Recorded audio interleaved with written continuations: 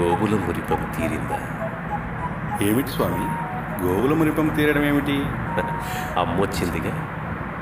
అమ్మను చూస్తూ గోవులన్నీ సంబరపడ్డాయిగా. అమ్మ రావడం ఏమిటి? గోవులు సంబరపడడం ఏమిటి? గోవులు ఎవరిని చూసి మురిశాయి? ఉదయం జరిగింది అప్పుడే మర్చిపోయావా? మర్చిపోలేదు స్వామి. అమ్మ అనుగ్రహంతో జన్మించిన బిడ్డ. ఆ అమ్మకు ప్రతిరూపమేగా. అర్థం కాలేదు స్వామి. సమయం వచ్చినప్పుడు అన్నీ తెలుస్తాయి. ఇవన్నీ అంత త్వరగా అర్థం కావు. పాఠాల్ని వల్లెవేయడం. పాఠాల్ని అర్థం చేసుకోవడంలో ఉన్న వ్యత్యాసం అదే. నిత్యం అమ్మవారిని స్మరిస్తూ అమ్మవారి చరితను పఠిస్తూ సకల లోక పావని అయిన నీలంపాటి అమ్మవారి దివ్య చరిత్రలోని పావన భావాన్ని నిర్మల సారాన్ని అర్థం చేసుకోలేకపోయాం. మరొక్కసారి. ఇంకొకసారి మళ్ళీ మళ్ళీ ఇంకొకసారి అంటూ ఎన్నిసార్లు చెప్పినా ఇంకెన్నిసార్లు విన్నా అంతకంతకు మరొక్కసారి చెప్పాలనిపించి శ్రీ నీలంపాటి అమ్మవారి దివ్య చరిత్ర చెప్తాను. విని తరించండి. సుమారు ఏడు వందల సంవత్సరాల క్రితం పల్నాటి సీమ కార్త్యవీరుని సంతతి వారైన హొయసల రాజులు పాలిస్తున్న కాలంలో ఓబులేషునిపల్లె అడిగొప్పుల గ్రామాల సరిహద్దులో నంబి అయ్యవార్లకు దానంగా ఇవ్వబడిన అగ్రహారం పాడి పంటలతో విరాజిల్లుతోన్న సమయం అది. ఆ ఊర్లో రామయ్య సుగుణమ్మ అనే దంపతులుండేవారు. వారికి నలుగురు సంతానం నలుగురు మగబిడ్డలే జన్మించారు. అమ్మా ఆడ సంతానం కోసం అడగని ఏ రోజు లేదు. మొక్కని ఏ గోడు లేదమ్మా. అమ్మ అన్నీ ఇచ్చావు. మనసును అర్థం చేసుకునే అర్థాంగిని ఇచ్చావు. నలుగురు కొడుకుల్ని ఇచ్చావు. పాడి పంట అర్థించిన వారికి ఇవ్వగలిగినంత సంపద ఇచ్చావు. ఒక్క ఆడపిల్లనివ్వటం మర్చిపోయావా తల్లి? ఒక ఆడబిడ్డనిస్తే నీ పేరే పెట్టుకుని పెంచుకుంటామమ్మా ఒక ఆడకూతురిగా ఆలోచించి ఈ ఆడబిడ్డని కరుణించి తల్లి. స్వామి వారి ఆర్తిని చూసారా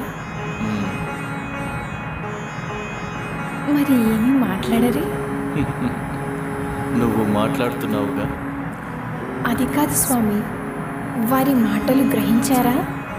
మనం అనుగ్రహించే పసిబిడ్డలో నన్ను చూసుకుంటారట. విన్నాను దేవి. కానీ ఏదైనా జరగాల్సిందే జరుగుతుందిగా. మనం అనుగ్రహించిన జరగాల్సింది జరుగుతుందా స్వామి? మ్మ్. అవును దేవి. ఏది ఏమైనా జరగని స్వామి. వారి ఆరాటం చూస్తుంటే వారి బిడ్డగా పుడితే బాగుండు అనిపిస్తుంది. అది కూడా జరగాల్సి ఉంటే. జరుగుతుంది. అంతేగా మీరనేది? ఏదైనా సరే నేను వారి బిడ్డగా పుట్టాలనుకుంటున్నాను. వారి బిడ్డగా పుడితే బిడ్డగానే బ్రతకాలి. ఇలా అమ్మలా కాదు. అదే కదా స్వామి నేను చెప్పేది. ఆ బిడ్డ జీవితాన్ని ఈ అమ్మ నిర్దేశించదు కదా? అమ్మ అమ్మే. బిడ్డ బిడ్డే. అయితే జరగాల్సిందే జరగనిస్తావన్నమాట. స్వామి మీ మాటల్లో ఏదో ఆంతర్యం కనిపిస్తుంది. ఆంతర్యం ఉంది దేవి. ఒకనాడు జరగాల్సింది జరిగింది కాబట్టి ఇక ముందు జరగాల్సింది జరుగుతుంది. బిడ్డగా పుడతానన్నావుగా? తథాస్తు.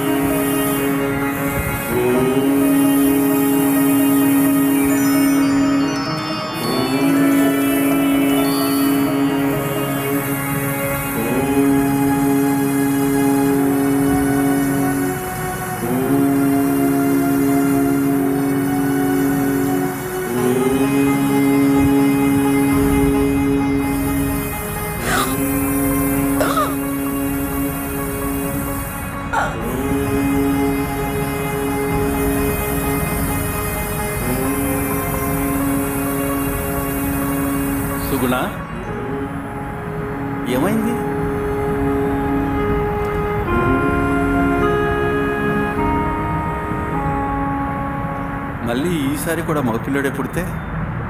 లేదండి ఈసారి ఆడపిల్ల పుడుతుంది. సుగుణ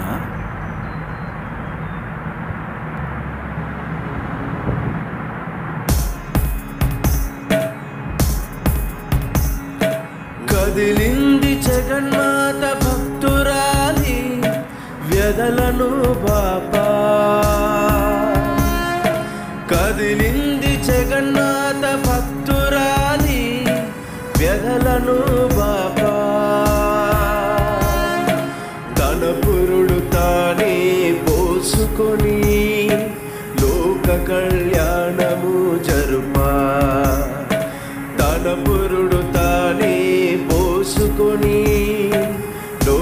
कल्याणमुचुरुमा श्रीलक्ष्मीचरणमो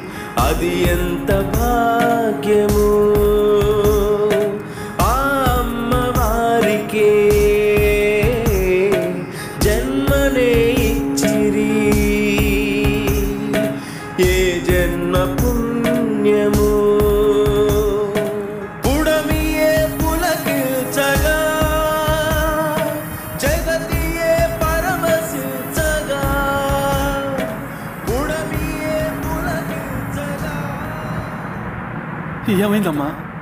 కంగారు పడకండి. ఆడపిల్ల పుట్టింది. ఆడపిల్ల? శ్రీలక్ష్మి అని పేరు పెట్టండి. మీ యాగంటి వారి ఇంటి పేరు నిలబెడుతుంది. ఎంత మంచి శుభవార్త చెప్పావు తల్లి. నీ మేలు మర్చిపోలేవమ్మా. భారతదేవిలా కాపాడావు వెళ్ళిరా తల్లి. లక్ష్మీనారాయణ స్వరూప దేవతాభ్యో నమ. అమ్మా ఈ బియ్యంలో పాప పేరు రాయండి. వ్యవహార నామ్ని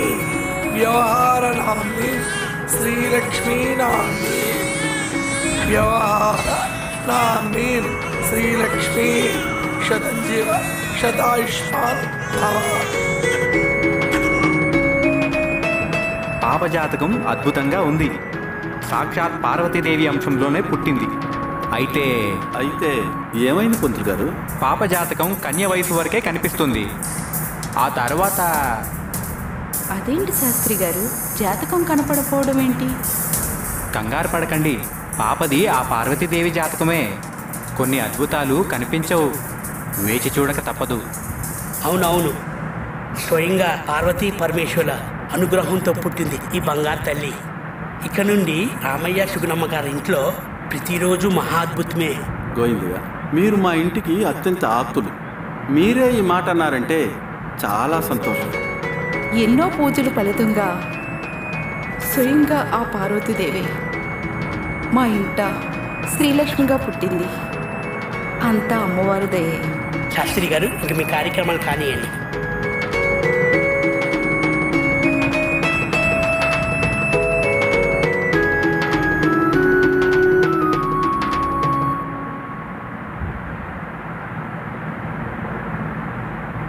అమ్మా నాన్న? నన్ను ఆశీర్వదించండి.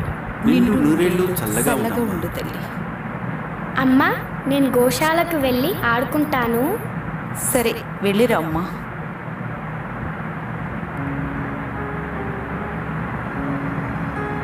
సుగుణ ఏమిటి అలా ఉన్నావు?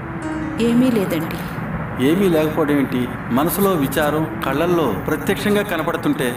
మన కర్ణంగారు అమ్మాయి. పద్మ ఉంది కదండి.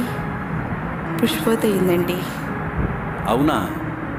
ఆ అమ్మాయి మన అమ్మాయి కన్నా ఆరు నెలలు చిన్నది కదండి.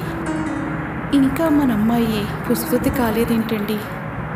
సుగుణ ప్రతి విషయాన్ని తలుచుకొని బాధపడటం మానేమని నీకెన్నిసార్లు చెప్పాలి? మనకెప్పుడు ఏం చేయాలో ఆ శివయ్యకి తెలియదా? శివాజ్ఞ లేదే చేమైనా కుట్టదు. నువ్వు ప్రశాంతంగా ఉండు సుగుణ. అలాగేనండి. చూసావా పార్వతి? మనల్ని మాత్రమేనా స్వామి?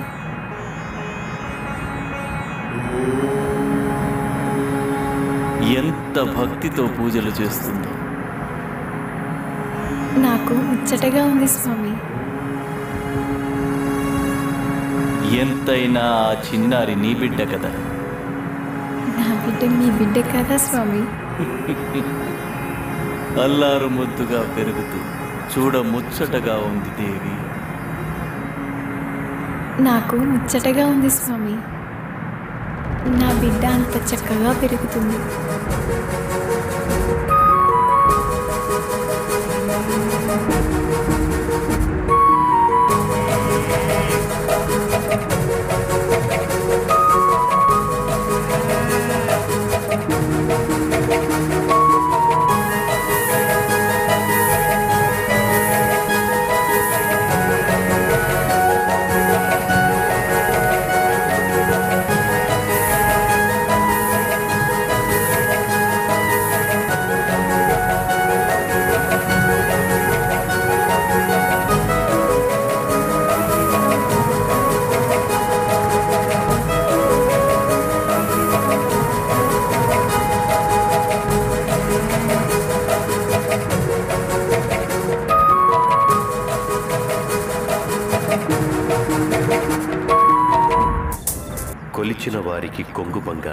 ఎంతోమంది జీవితాల్లో వెలుగులు నింపిన అమ్మవారు మీ విపత్తును దూరం చేస్తుంది. అఖండ మహిమలను చూపుతూ దేదీప్యమానంగా వెలుగొందుతున్న అమ్మవారి దివ్య చరితాన్ని తెలుసుకుంటే మీ సందేహము నివృత్తి అవుతుంది. సర్వ జగద్రక్షకి సకలలోక పావని అయిన అమ్మ నీలంపాటి అమ్మ మంగళకర చరితను మీ అందరికీ తప్పకుండా వినిపిస్తాను.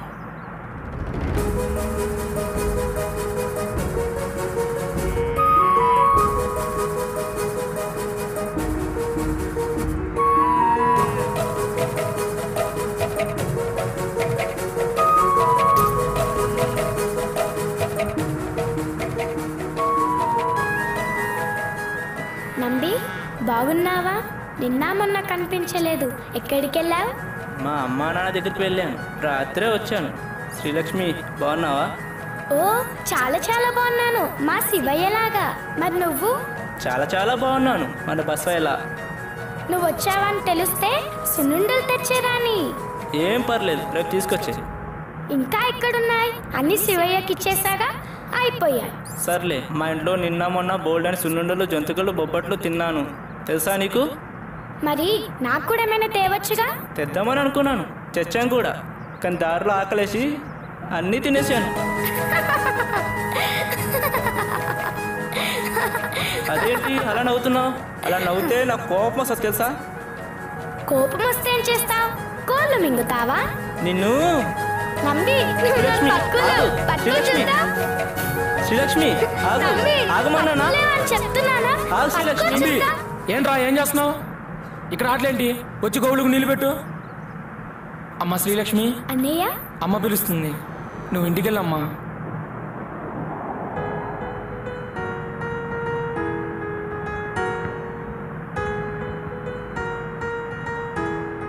నాగన్న ఇదిగో పాలు.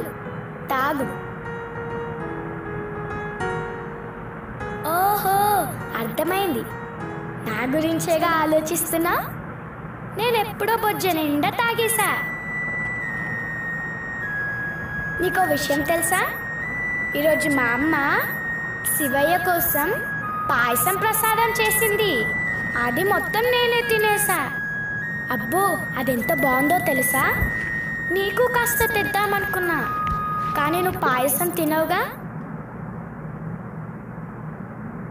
అందుకే నా కోసం మా అమ్మ ఇచ్చిన పాలు నీకోసం కాసిని దాచి తీసుకొచ్చాను. ఆ తాగు. ఏంటి సిగ్గుపడుతున్నావా? సరే ఇప్పుడు తాగు.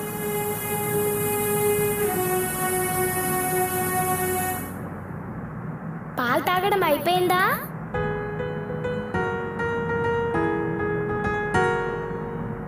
హా? అమ్మయ్య తాగేశావా? అవును నీకు చెప్పడం మర్చిపోయాను. ఈరోజు శివయ్యకు పూజ చేస్తుంటే ఏం జరిగిందో తెలుసా?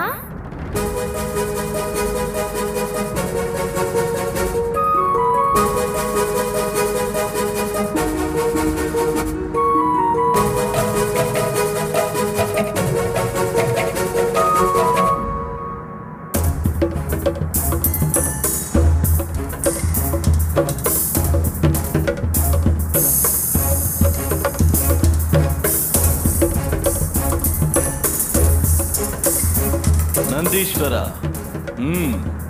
నీవు తిరిగి అమ్మ కడుపులోకి వెళ్ళే సమయం ఆసన్నమైనది. సృష్టి మొదలైనప్పటి నుండి నేటి వరకు ఎవరికి రాని అపూర్వమైన అనిర్వచనీయమైన అద్భుతమైన యోగం నీకు సిద్ధించబోతున్నది.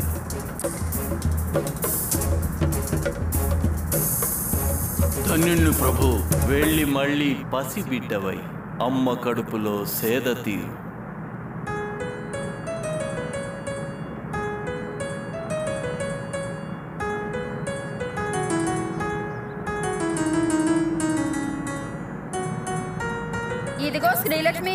ఏంటి పిన్ని? ఎక్కడికి వెళ్తున్నావు గోశాలకి వెళ్తున్నాను పిన్ని. రోజు ఆ గోశాలలో నీకు పనేంటి? ఆ గోవులకి అమ్మను నేను. అబ్బో అమ్మవు నువ్వైతే? నాన్నెవరు? గోపాలుడు నందుడు. ఆ? చూసావా అక్క? ఎలా మాట్లాడుతుందో? రోజు ఆ గోశాలకు వెళ్ళడం ఆ నందుడితో ఆటలు పాటలు పైగా ఇది అమ్మంట వాడు నాన్నంట. అక్కడ ఏం జరుగుతుందో ఏంటో. అవునా?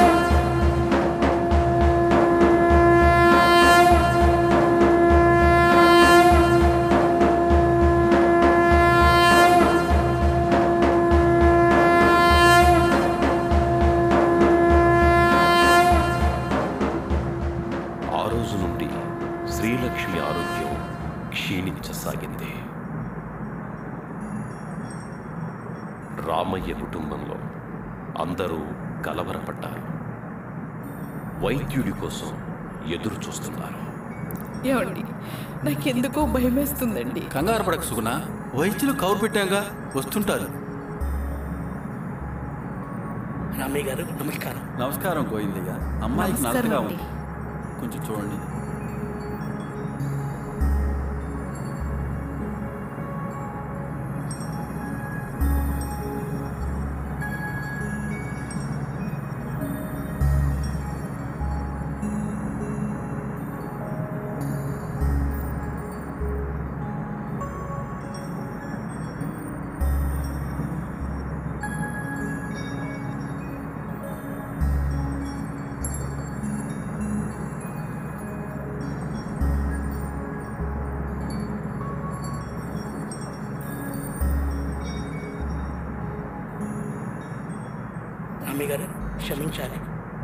కాసేపు మీరందరూ బయటికి వెళ్ళాలి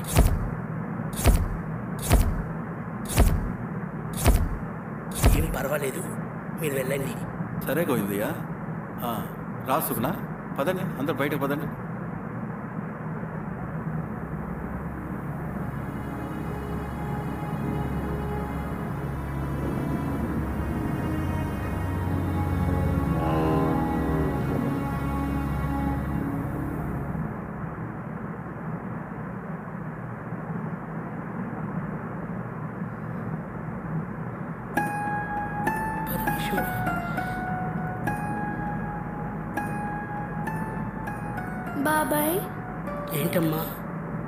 నాకేమైంది?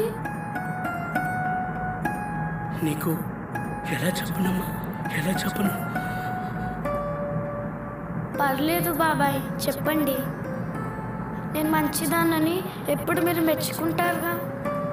పరమేశ్వర ఏంటయ్యా ఇది? అన్యం పుణ్యం ఎరగని చిన్నారికి ఈ దుస్థితి ఏంటయ్యా? ముఖపచ్చులా నీ బంగారు తల్లికి ఈ పరీక్ష ఏంటి అయ్యా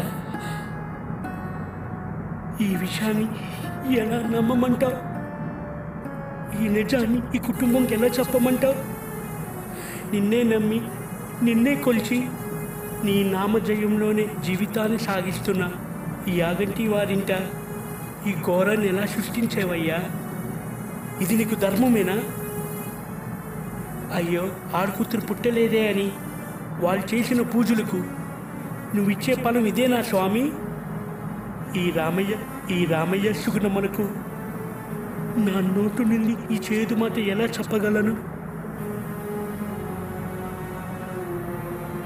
ఎందుకు బాబాయ్ అలా బాధపడుతున్నావు నేను చచ్చిపోతానా? ఈశ్వర ఈ అమాయకురాలికి కష్టం ఇచ్చే కన్నా నేరుగా నీ దగ్గర తీసుకెళ్ళిపోయినా బాగుండేది కదా? బాధపడుకు బాబాయ్. మన శివయ్య నీ మాటలు వినిపించుకుంటారులే. మంచివారి మాటలు శివయ్యకు వినిపిస్తాయని నాన్నగారు చెప్పారు.